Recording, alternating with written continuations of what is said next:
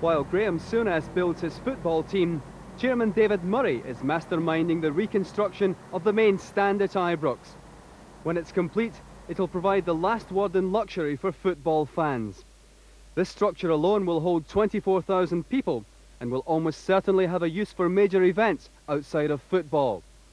Expensive reconstruction on and off the park all costs money, and the fans who go to Ibrox are encouraged to take up deals which make their day out more enjoyable and at the same time make Rangers financially strong. Thousands of ordinary supporters have joined the Premier Club, which gives them access to an American-style concourse featuring everything you'd expect from the best fast food outlets. The only difference is that every product carries the Rangers crest. All this was created by Rangers commercial manager Bob Riley, welcomed here by ex-player Eric Caldow as he pays a pre-match visit to an area featuring hospitality on an altogether different level. Of the many corporate entertainment areas at Ibrox, this is the best. A world of champagne and gourmet food in which business is mixed with pleasure. Hundreds enjoy this five-star football package every week, and there's no chance of anyone forgetting which team they're watching. Uh, this is the uh, the top level of corporate entertainment we have at Ibrox. Uh, 36 executive boxes, opened about a year ago, all sold. As you can see, there are brass, brass plates above each company's box. Each box holds eight, costs £25,000 plus VAT uh, per season. It's totally inclusive. Uh, by that I mean there is no nothing extra. Uh, that money allows them to have a champagne reception on arrival, which they're having at the moment in their box. They then have a five-course lunch uh, with red, white, red wine and white wine, uh, coffee and liqueurs. Normal half-time fare at football matches, including the pies, uh, and at full time a free bar to six o'clock. This part, as you can see, uh, the boxes are sliding doors. This is to allow us to have a, a normal restaurant on non-match days. And we're delighted to say that uh, the restaurant is continually full. Uh, an interesting little fact is that in close season, uh, football grounds tend to be sort of uh, barren places. So we decided to keep the restaurant open last close season, and uh, the revenue from that was £100,000. So that's nice money. We can hear the uh, champagne corks popping in the background. How much champagne do we go through in here? We go through quite a lot. That's uh, on an average of 36 boxes. Uh, I would think probably about four, bo four bottles of champagne uh, in each box, uh, which is 160, 160 bottles of champagne. Uh, I think what there's 12, 12 in a case or something like that. Is it Rangers champagne? All Rangers champagne. Only Rangers champagne. Meanwhile, on the other side of the stadium, more guests arrive in the Thornton Suite, named after one of the Rangers greats, Willie Thornton, who hosts a table. Another famous Ranger, John Greig, has a new role as head of PR. Could you please welcome all the way from Bermuda to see today's game, Mr. Bill Story. I do feel Graham Souness has geared this club in particular for Europe. He's geared the club to say if a European league comes around, and I'm sure that Graham Souness is convinced it's going to be sooner rather than later, I would say, sticking my neck out, by 1995 I'd be very, very amazed if there wasn't a European league in operation. And I think this club, he's saying, we're ready for it if the rest of Europe's ready for it. Obviously, obviously we'd like to do better in Europe. I feel um, in the past, through circumstances, suspensions and injuries, and us not playing well on a night, we have not done ourselves justice um, in Europe. Um, I'd want to do better in that field, obviously. Um, but actually winning the European Cup is an enormous, an enormous task for, for anyone to undertake. But we will try, and we'll try our hardest, and with a wee bit of luck, who knows one day. But it's not um, the be-all and the end-all. I want to, um, there's only one team win the European Cup every year. There's only one team won it in the last two years. And um, I just want to be part of building something here which um, I've never seen the likes of before in Scotland. Obviously, this European dream is something which involves competing with clubs which you have explained uh, to the press and the media in general here to. are on a different level altogether. Yeah, well, we're, we're known as big spenders in, by British terms, and I suppose um, we have spent a lot of money. Um, in real terms, we may have spent seven million. You know, we've had we've outlaid a lot more than that, but we've got a lot back. Um, and the best example you could possibly give would be Juventus this year, who at the start of the season, the coach or manager, whatever you want to call him, was given, I think it was 45 million pounds to spend. Now I've spent 7 million pounds over five years on two or three different teams. That guy's been given 40 million, 45 million quid to spend on one team for one season. I think he only managed to spend 37 of it. So that's a measure of the opposition. Do you feel that... Uh, that's what you're up against, but it's not impossible. As I said, I'm an optimist, and every game I play I think I can win. And that, that, that, that comes down to the football in Europe as well. I think if given the right circumstances and given another two or three quality players at this club, the ones I've got, then we're capable of, of upsetting the best. Do you think the system of uh, club competition in Europe will change? I'd hope so. I would. Um, I think people's tastes are becoming more and more discerning. I think people only want to watch the best now, whether it's on BSB or whether it's live. And um, the Scottish public are no different, the British public are no different. They'll want, they would want to see the big foreign clubs playing in our country on a regular basis. In a domestic sense, you have a very high profile. Uh, obviously, if it was part of a a European organisation, you would be uh, maybe a, a, a, smaller fish in a big pond. But here, you like are the, that very much. You would like that. Mm -hmm. Why? Well, I feel that, and maybe even some of our own supporters are, are guilty of, of, of turning up and thinking because we've spent all this money that we've got divine right to go out and beat everyone in sight. Well, it's not like that. Life's not like that, and football's certainly not like that. Having said that, the Rangers manager has had to admit that the season so far has gone very much according to plan. Good try against Kidd, cutting away from the fullback. Good play by the Dutchman. And a goal for Rangers! 21 minutes gone here at Tynecastle. Marvellous play by Rangers. Oh, Johnston. Oh, great ball through Kelly McCoist. He's onside. McCoist must score. Number two for Rangers.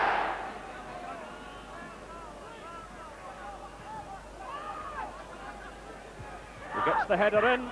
Oh, and a mistake there by Chris Woods, and the ball in the net.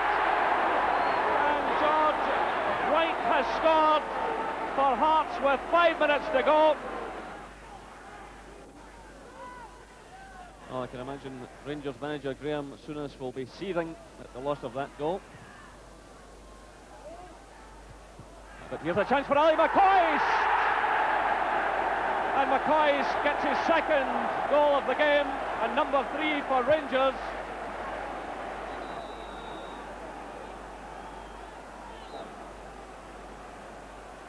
There's John Collins. Glancing header! Derek Whyte for Celtic!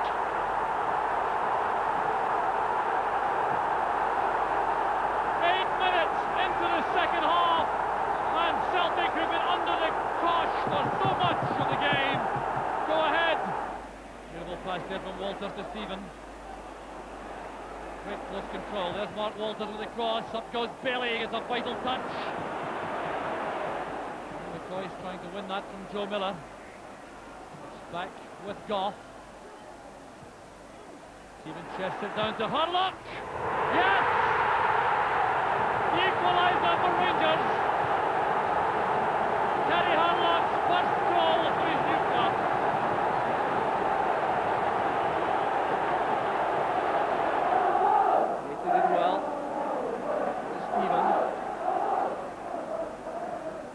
Great cross by Stephen.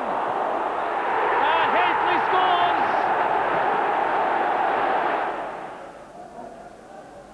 Hateley again doing well in the air. The Spackman forcing his way through with a chance to test Andy Goram. Back it goes to Walters. Marco's cross. Hateley again! Mark Hateley gets his second and the Hibs defence had And Heath and Walters over the ball.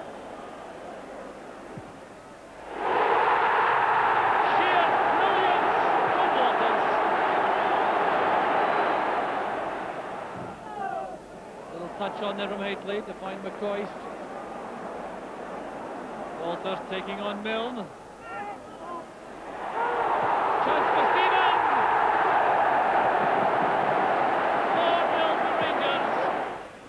4 Robertson getting his first touch. It's John Brown again looking for the head of Hateley. A chance for Walters!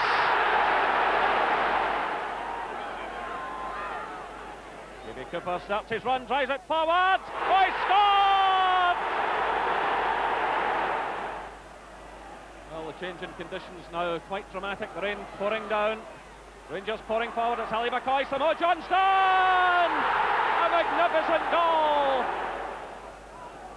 John Brown. Again looking for Hateley. Away by Angus. Only as far as Spackman. Oh, great ball through now to Gary Stevens, who must score! Oh, brilliant goal by Gary Stevens!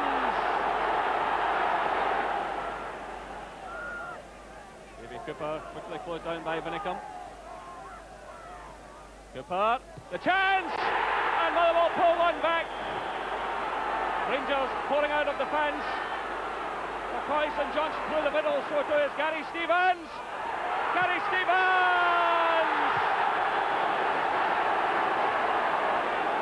I, I think when you pay the amount of money that Graham pays for players, you don't really have to coach them too much, David. I think that's when you're paying over a million pounds for a player, you expect them to know the basics of the game, and they do. I think where Graham's problems have lain is in convincing the fans. I mean, we all know Scottish football, it's up and at them. Let's get it in the box, get it forward. Graham's tried to adopt a European Liverpool-type game, if you like, where patience plays a big key in it. He's tried to get the fans to be patient. Let's build up from the back. I mean, he wants his players to all be able to pass the ball, to control the ball, to pass it through midfield, not just a big lump up the park. And I think that's been his biggest problem, is telling the fans and convincing them that that was the way forward for Rangers. But the players know it. He tells them every day, encourages them, pass the ball, pass the ball. The training, very similar to Liverpool, I'm sure. I think everybody relates back to the Liverpool um, because they're such a good team. And, I mean, if you can go anywhere near, um, you know, the playing abilities of them, then you won't be far wrong. I think the main thing in any football team is that, um, or that the manager tries to get over to us, is that you've got to pass and move and keep doing it. And um, that's what we try to, you know, put into the game. In a personal level, that profile that you have has uh, got you into some trouble. Is it something that you troubles you, that worries you, or hurts you when, when you when no, you're disciplined? listen, I can, I'm very fortunate. I've never suffered from jealousy in my life. And I can understand people being jealous or bitter or, or antagonistic towards me and this club if we're, if we're constantly in newspapers or we're constantly on television. I try, I consciously try not to, not to be on television a great deal. People say, what am I doing this interview for? Um, I certainly try and avoid the newspapers as much as I can on the radio, but it's difficult. And when you do uh, get into trouble with, say, the SFA or whatever, it's because uh, of things where you... Got to watch what I'm saying here. Absolutely, but uh, which is probably one of the reasons that you you are so frustrated. But um, the passion that is part of this game, that everyone wants to be part of it, do you feel that you simply get caught up in that passion and that's sometimes what pushes you over the edge and causes you to be disciplined? I know about football. Had a lifetime of football. I understand football. Um, people who hand out the discipline. And maybe I've not spent a lifetime in football, certainly not the sharp end. Um, I'm passionate about the game I'm involved in. If that sometimes leads me getting into trouble, then um, I can't change because that's the way I'm about the game. I love the game. I love every aspect of the game. And sometimes if people think I've fallen foul of the rules or their interpretation of the rules, then I'll have to just go along with that. Do you like being a winner?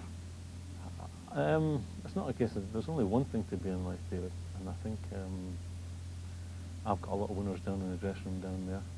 They know how I feel about that. And um, I like to think a wee bit of me is rubbed off on them, and certainly with few of them in that dressing room, some of their attitude to certain things is rubbed off on me.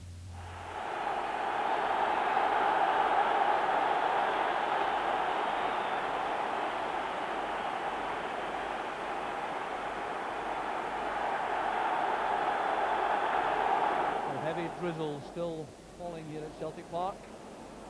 As Rangers enjoy in the early stages the bulk of the possession. Here's a good move from Hateley. And calmly intercepted by the Polish international Wdowczyk. Careless pass though. Here's Robertson. Johnston calls for the ball. A stumble there from Johnston. And Alex Baillie stayed on his feet to take possession.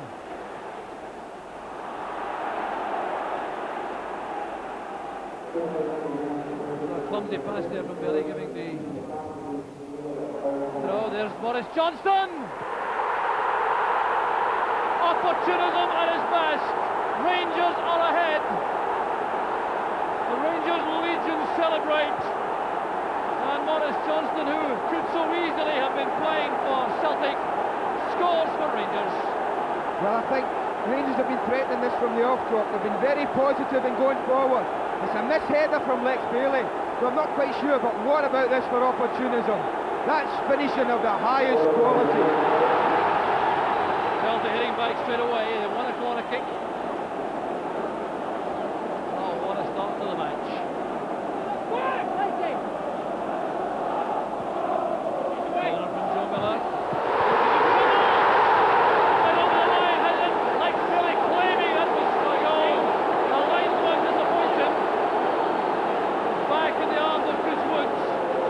Well, I'd like to see this again, Jock, because Chris Woods gets in all sorts of trouble from the corner.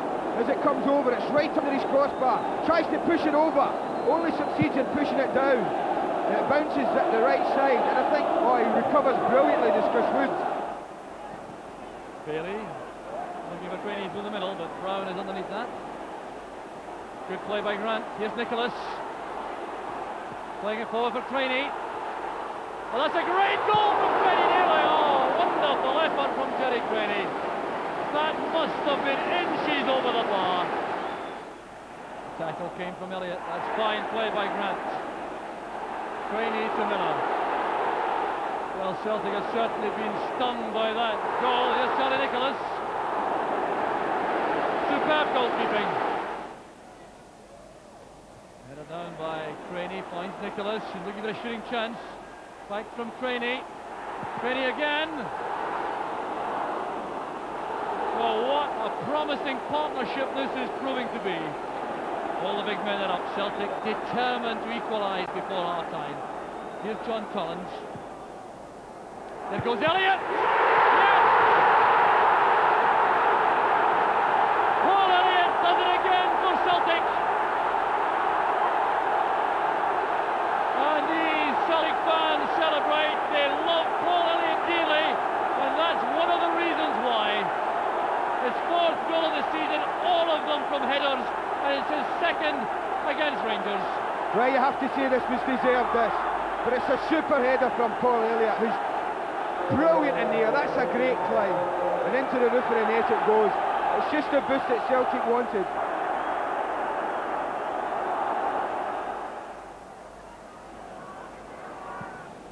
Will be interesting to see if they can pick things up where they left off. There's Grant to Creaney. Good play from Creaney. Beaten away by Woods as Nicholas came in. And Celtic giving a very early answer to that question. There's Collins.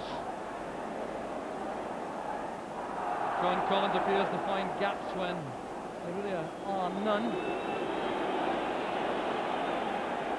So Celtic getting off to a brisk start. So Ally McCoist is on replacing Maurice Johnston. Here's Joe Miller. It's been a very interesting contest between Miller and Munro. Here's Spackman. The interception made by Collins. Here's Nicholas. Still Charlie Nicholas. And off the inside of the post. Charlie Nicholas wonders just what he has to do to score for Celtic. Well, the roof nearly came off Celtic Park there. But what a tremendous skill again from Nicholas. You people talk about as he got it. Look at that. And what a finish. It's a superb strike. Well, Celtic can either be saddened by that or lifted. It looks as though they've been lifted. Well, that's great play again. Joe Miller. That's a corner kick, I think. Yes, the linesman's given it.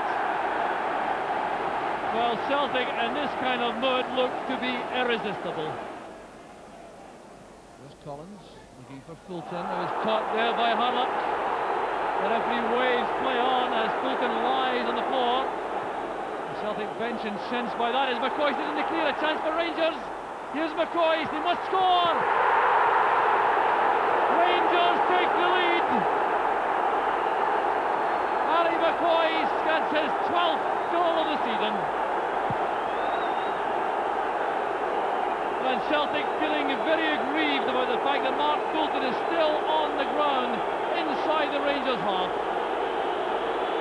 Well, this is a tremendous blow for Celtic. There's no question of him being offside here, but what composure he shows. They've lost their top goal scorer. He makes Pat Bonner go on his backside and he just rolls it into the empty net. That's tremendous piece of finishing. Throughout Scotland, this is the typical meeting place where football is discussed on a daily basis. Everyone has an opinion and no one is frightened to offer advice, even to the biggest names in the game. In Glasgow, most pubs tend to lean either one way or the other, and there's no doubt where the loyalties lie in this case. Rangers is the favourite topic of conversation here, and no one is spared from the punters' blunt views. Despite all the success, even Graham Souness has to take some stick from time to time. He's far too arrogant, too, too single-minded. He is arrogant, but when you've been there and done the business, you can afford to be arrogant. It's as simple as that. I think he's done exceptionally well at Rangers. I just cast my mind back five years before he came. They weren't doing very well at all. Middle of the, middle of the table, fourth, fifth in the league. Wasn't good enough for Rangers Football Club. And I think since he's came, they look as if they're going to win something every season now. They've got the best players, great set of fans. The place is buzzing every Saturday. I think it's been great for Scottish football. He's done a tremendous job over the last four or five years, four years ever since he came to Ibrox. He signed a Catholic, as far as I'm concerned, tremendous player. Right, he's done the job for Rangers Football Club, scored tremendous goals, and one of the best players out. And he had to buy him. It didn't bother me. I thought about it at the time, but I came out here, my mate, and we sat with Blether to come out and see the reaction of people. And obviously there was, there was a lot of people who were upset and didn't think he should him. But to me, uh, he's a good striker. He puts the ball in the net and he earned us some really valuable points last year. And that's what it's all about. It was a big deal, but we get used to it. Why was it a big deal for you? Because it was against everything that we'd been brought up to believe Rangers was about. It was against the tradition of the club. I think he's a quality player and I'm glad they signed him. I think if you just even watch him when he scored against Celtic, how happy he was. I think the players have accepted him, I think the fans have now as well.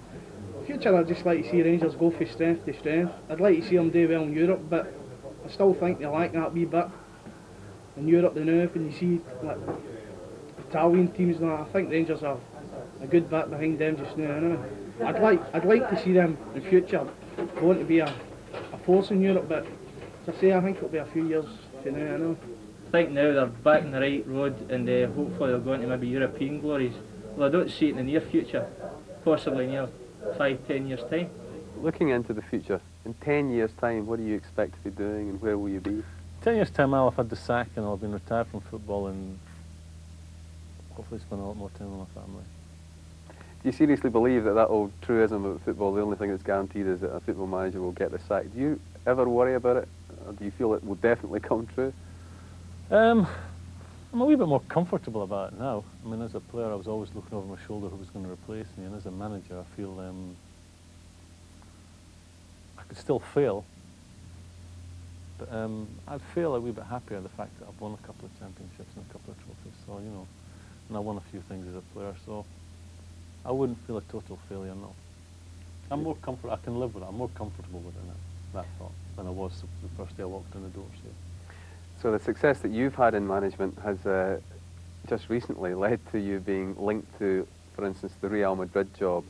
And uh, I do recall you saying that you couldn't afford the drop in salary. But uh, seriously, how do you react when, when you are linked with jobs like that? That's, you know, the word exclusive seems to be used every day in certain newspapers and certain television programs. Um,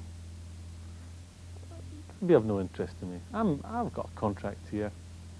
Um, I'm, I'm happy here. Um, I'm as happy as I've been in, in my footballing life, if you like. You know, I'm in charge of basically everything that goes on at the club in football terms. And um, I work with great people. I want to try and establish something here that, that um, I'll be lasting. You know, that when my time comes for me to go, that I'll stand back and maybe be given another job somewhere within the club and say, well, I was partly responsible for creating whatever we've created. You know, to pass on um, a youth system that's second hand, to pass on a reserve team that's got players bursting to get into the first team and to pass on a really good first team that's capable of, of competing at the very highest level and be involved in creating the best stadium or one of the best stadiums in Europe, certainly the best stadium in Britain. I have no intention of leaving this place. I don't want to leave.